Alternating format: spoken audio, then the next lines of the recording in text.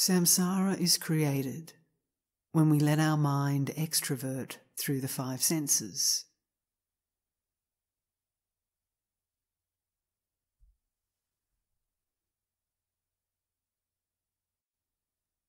We focus on an object through our eyes, or through the ears, or the nose, and make thoughts and emotions about this object.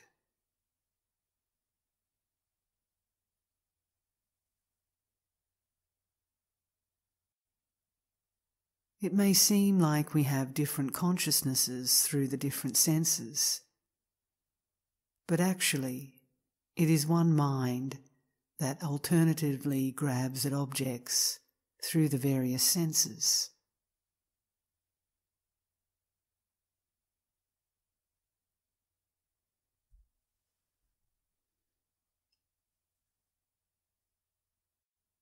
The traditional example of this is of a monkey in an empty room with five windows, restlessly jumping around and looking out through one window after the other.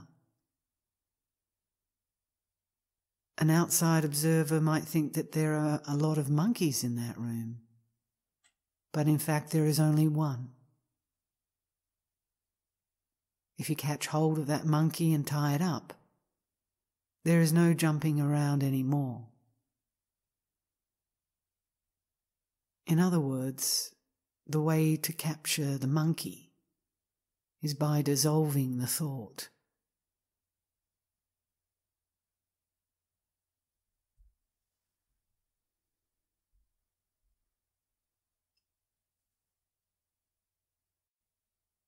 Another example is of a fireplace in the middle of the house with smoke coming out through all the openings.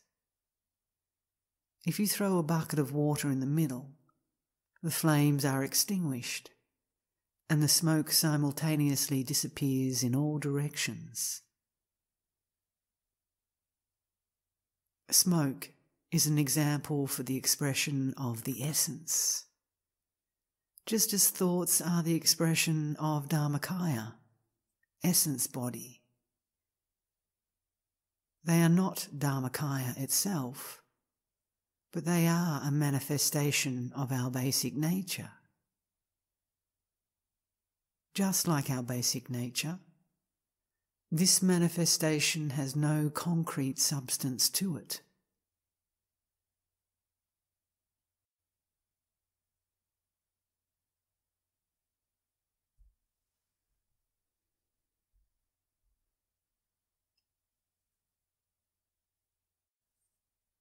The essential teaching is never to just recognize dualistic mind.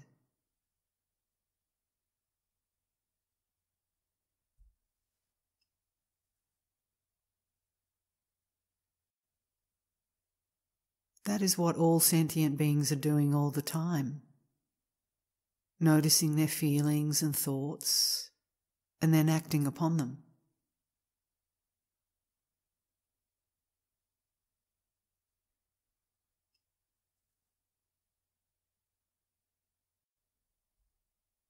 The meditation instruction is not to perpetuate that.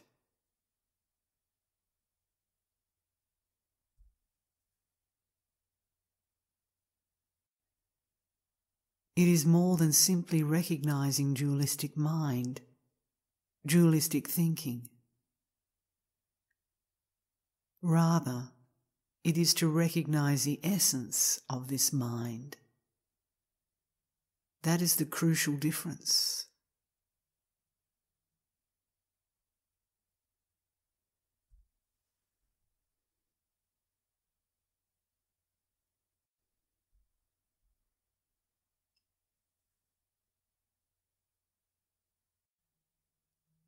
Being caught up in one's thoughts and acting upon these feelings is the cause of endless samsara. This is being caught up in the expression and not knowing the essence itself.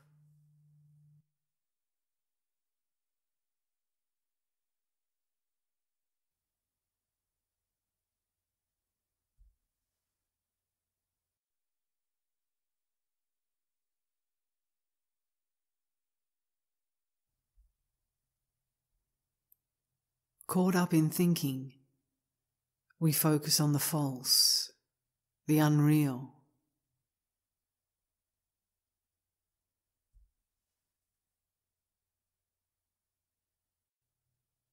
Yet the real, the indivisibility of the three kayas or bodies, is already spontaneously present as our own nature.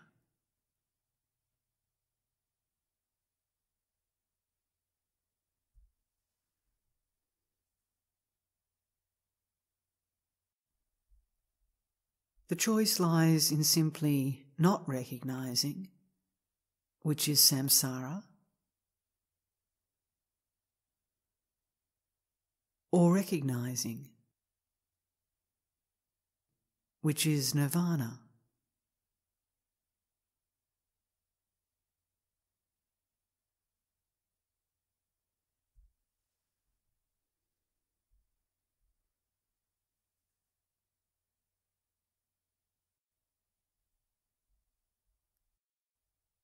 If you don't recognize my nature, you stray again into the three realms of samsara. Recognizing self existing wakefulness is the very essence of nirvana. At that very moment of recognition, nothing is concealed in any way at all. Your nature is laid utterly bare.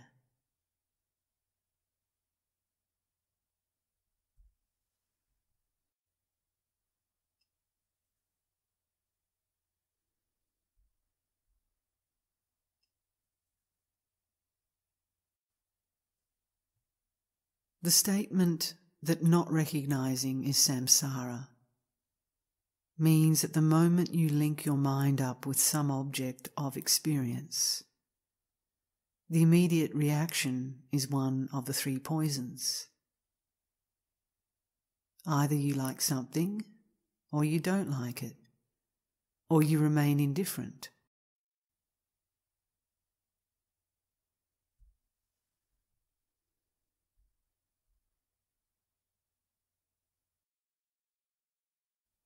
Caught up in these three emotions, people might still claim, I create no negative karma.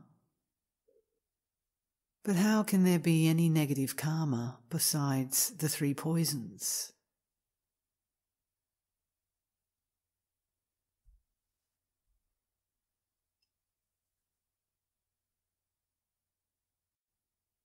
The three poisons are exactly what creates the three realms of samsara.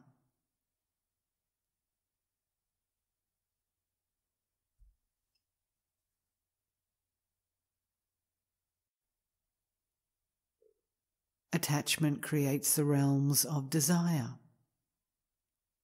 Aversion creates the realms of form.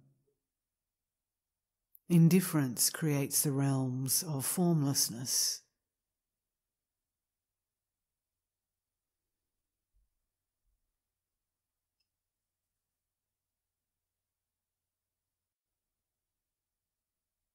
Not recognizing one's own essence and being caught up in the three poisons perpetuates nothing other than the three realms of samsara. It is unavoidable.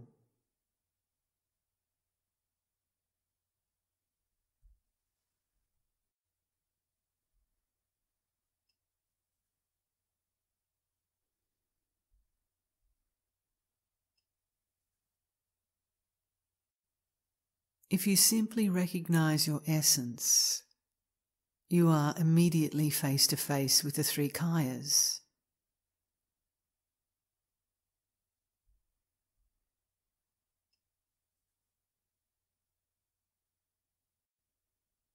It is so simple that it's actually incredibly easy. There is no way you could miss it.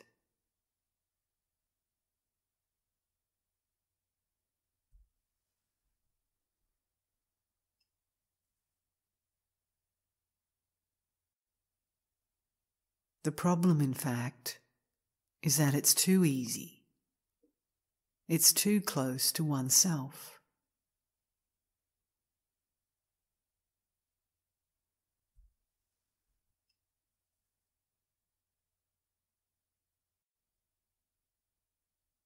Some great masters have said that the fault lies in not that it is complicated, but that it is too simple.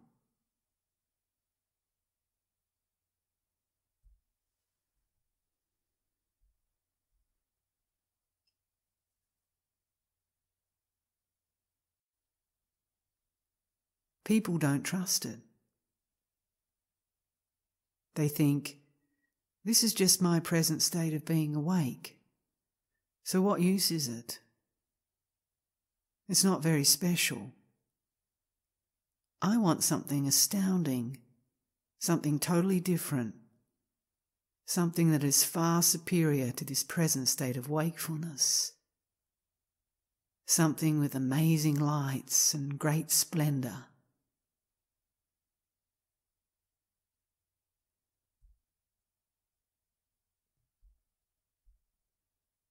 And they ignore their present natural state of mind and hope that something extraordinary will happen, maybe coming down from above.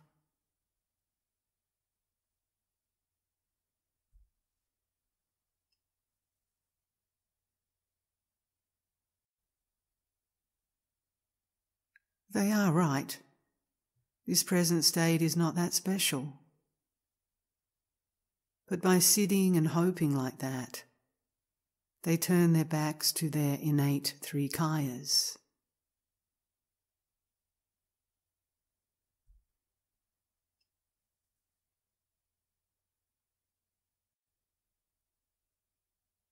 If you recognize your own mind, on the other hand, in the moment of seeing, there is freedom.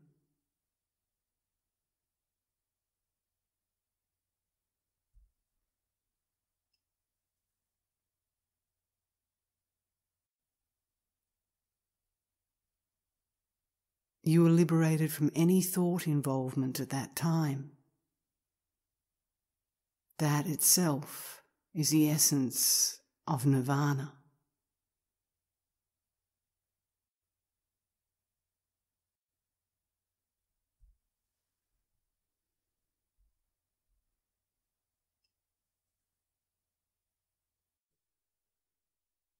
If, however, we ignore that fact and chase after something else, some kind of altered state we believe to be superior to the present nature of mind, it is going to be very difficult to ever find the Buddha mind.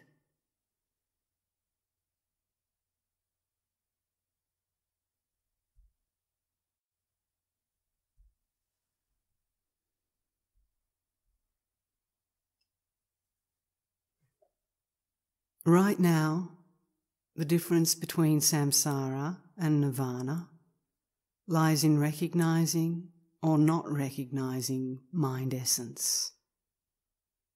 That should be clear.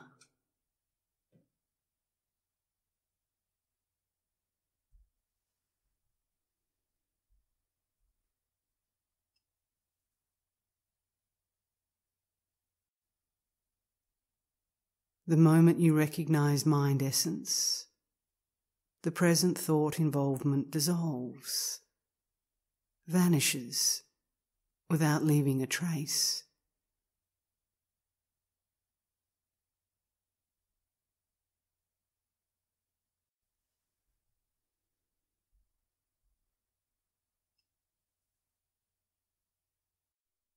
You are left with the intrinsic three kayas it is not that we need to create the three kayas or achieve them. You are recognizing what is already there.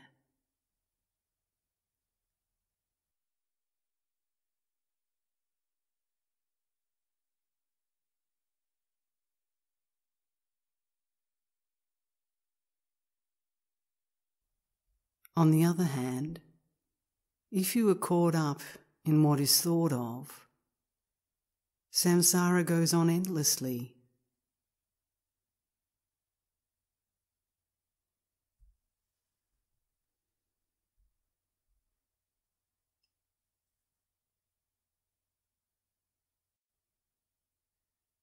In the moment of thinking, recognize the identity of that which thinks, and the thought dissolves. That is so easy.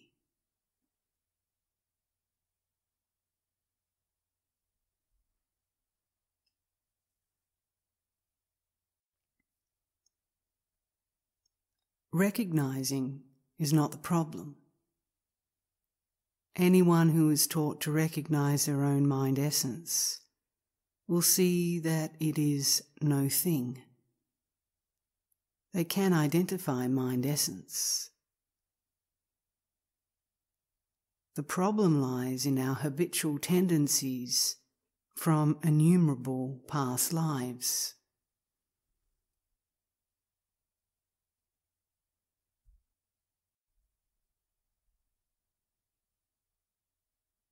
Just because we recognize once doesn't mean that recognition stays.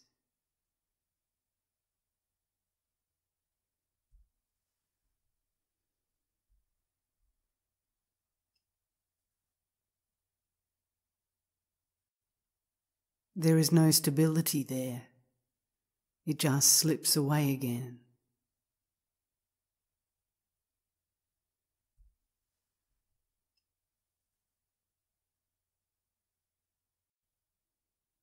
We have the bad habit or the negative pattern of always grasping towards objects.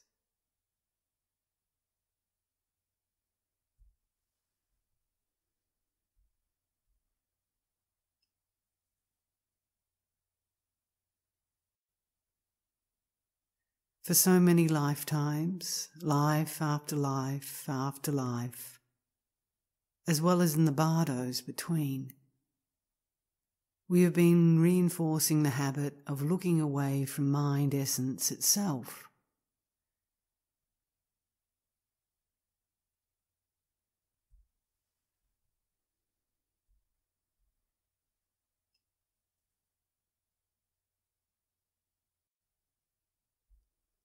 We keep recreating samsara again and again.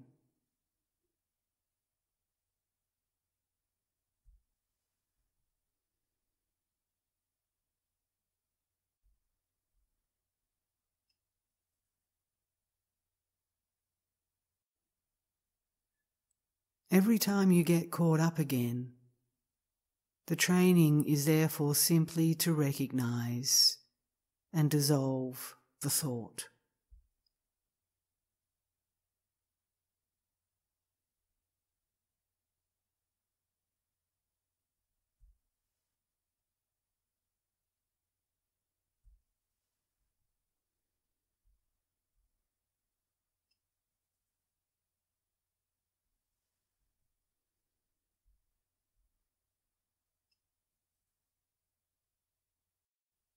Our habit of thinking extrovertedly, focusing only on external objects, is what propels us day and night, life after life, and in the bardo state in between.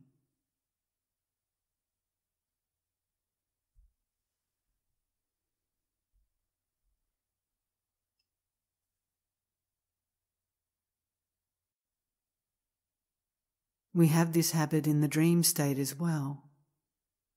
Our body runs around and does things in our dreams, even though it is not a real body, but a body created out of habitual tendencies.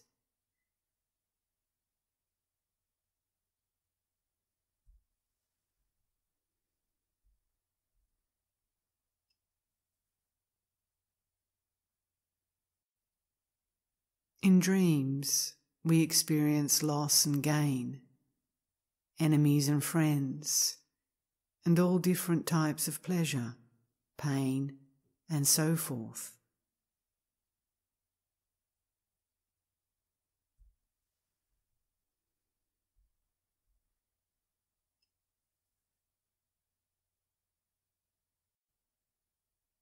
But at the moment we wake up, where are all these entities?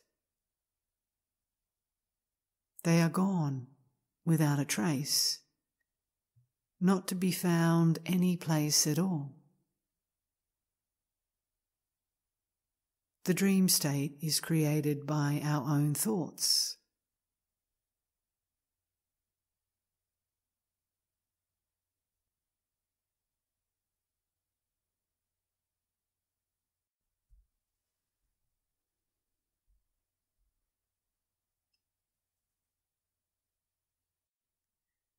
Likewise, in the waking state, these same thoughts create this whole drama of life.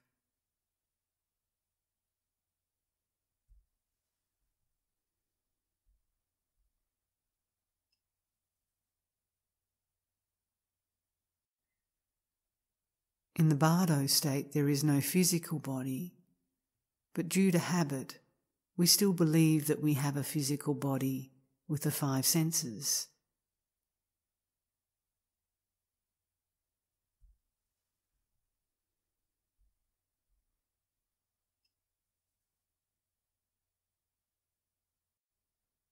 Of course, there is no real body there.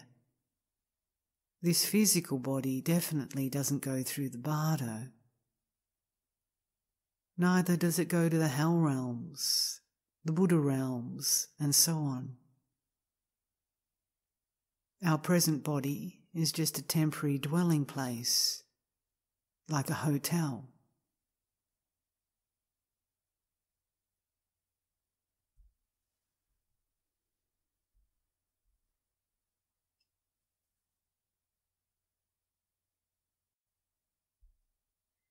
The person living in this hotel right now is the mind.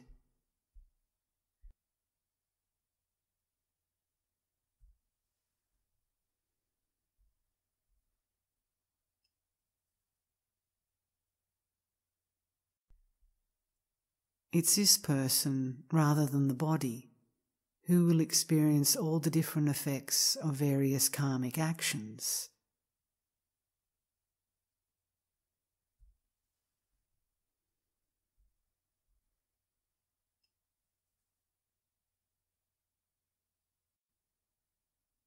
This body won't feel a thing because as soon as it dies, it is gone. There is nothing there.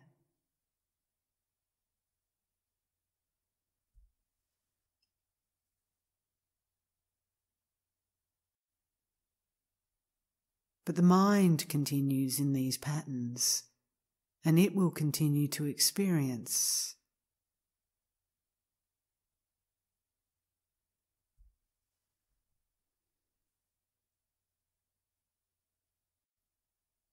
Still, all this experience is no more real than the dream you had last night.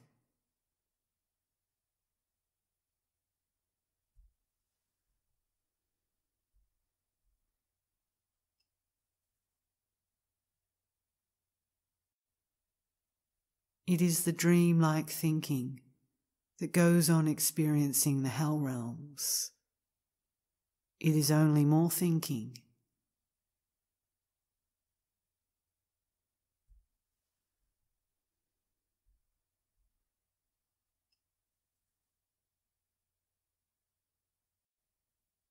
The bardo is also just more thinking. And when we eventually enter into a new physical body at the end of the bardo, it is more thinking again, day after day, life after life.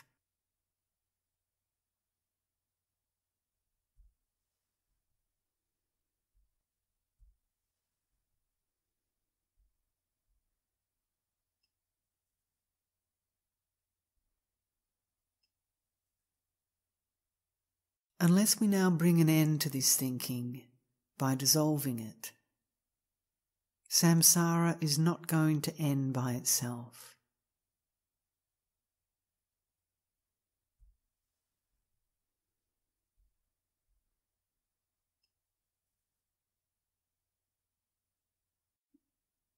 It will go on and on indefinitely, as it has through beginningless lifetimes until now.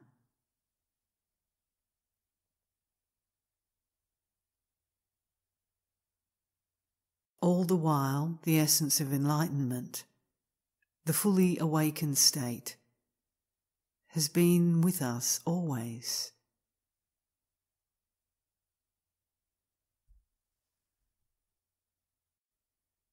It has never been separate from us, even for an instant.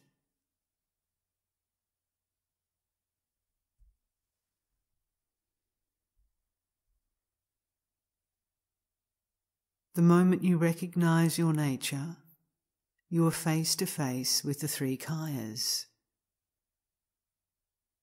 These three kayas, intrinsic to our Buddha nature, were never lost at any point whatsoever.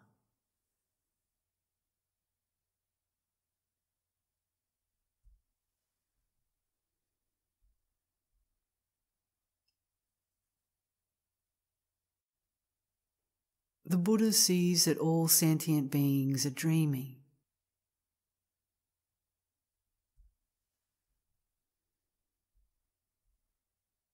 They are dreaming the six realms. They are dreaming the four places of rebirth. They are dreaming all their joys and sorrows.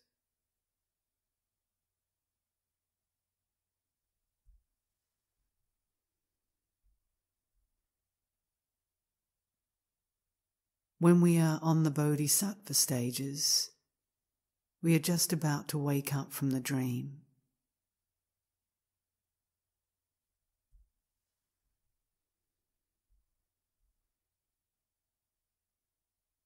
Only the fully enlightened Buddha is totally awakened. Buddhas see that beings are ignorant. Sleep is only a subsidiary of ignorance. The real stupidity is not knowing our own awareness wisdom.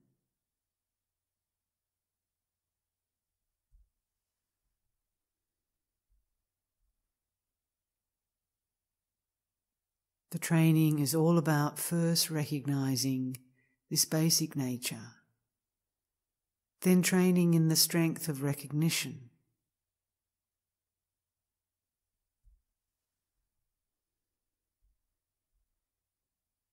And finally, attaining complete stability.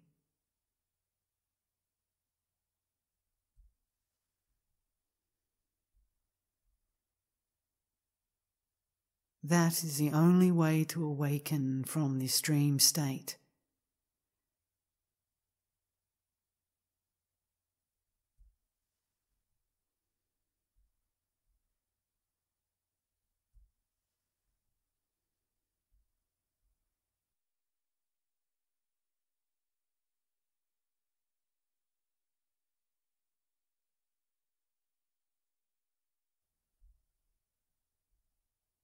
We need to obliterate this deluded thinking, and no material thing in this world can do that.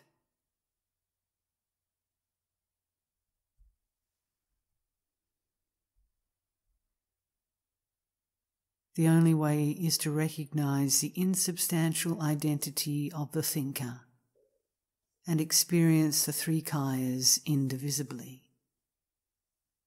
There is no other way.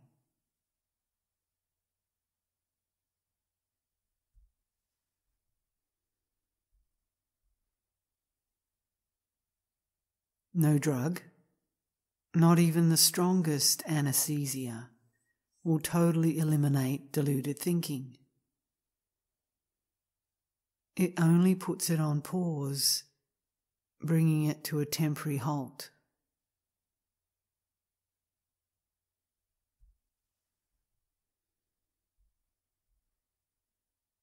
The moment the anesthetic wears off, thinking begins again.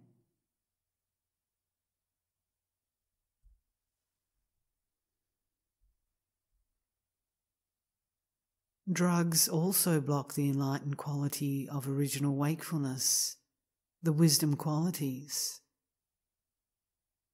Under their influence, there is no wisdom of seeing the nature as it is, and no quality of seeing all that exists.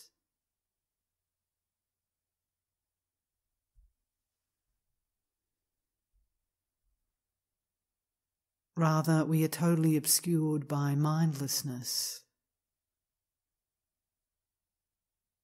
To make oneself mindless and oblivious is not a solution.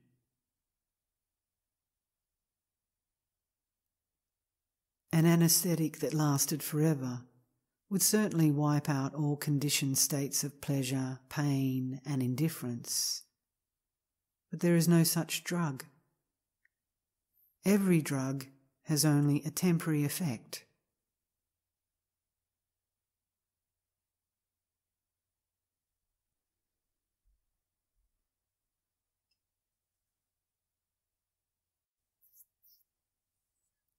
Instead of bringing the mind to a halt, recognize mind nature with its basic quality of unimpededness.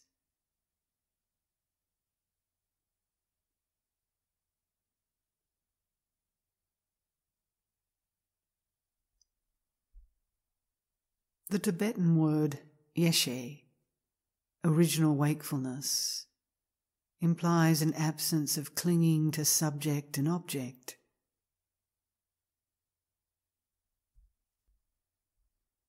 Perceiver and perceived, which is not the case with normal mind. Normal mind is always structured as a duality of perceiver and perceived.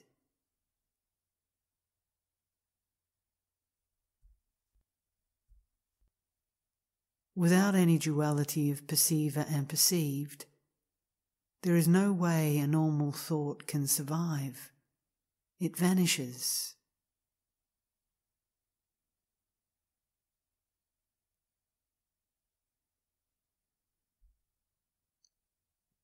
As long as duality does not become oneness, there is no enlightenment.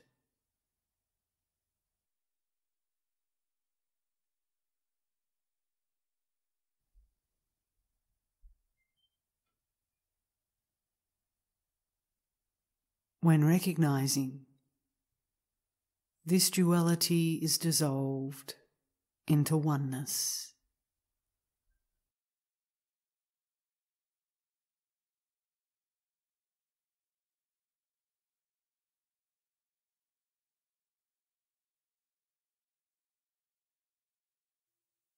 you